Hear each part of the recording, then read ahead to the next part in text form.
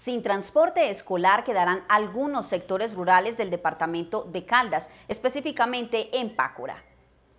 Fue el mismo alcalde de ese municipio, Jorge William López Ramos, quien manifestó su preocupación luego de terminada una reunión con representantes de la empresa transportadora, donde se indica que las pólizas de seguros con las que operan los buses escaleras, jeeps y otros vehículos afiliados a la empresa Cootransa no podrán operar hasta tanto no se les otorguen nuevamente, si se llega el caso de entregarlas, pues al parecer los vehículos que superen la vida útil saldrán de circulación. La empresa cubre rutas en los municipios de Salamina, La Merced, Aranzazu, Neira y Pácora pero lo que más preocupa son las rutas de transporte escolar que se realizan en este municipio de Pácora, pues son lo único que operan en el sector rural de la localidad y con la cual se tenía el contrato, razón por la cual el alcalde informa que por un par de semanas no se tendrá transporte escolar en la ruta cubierta por Cotranza, a la espera que otra empresa lo haga mientras se restablece la situación de las pólizas.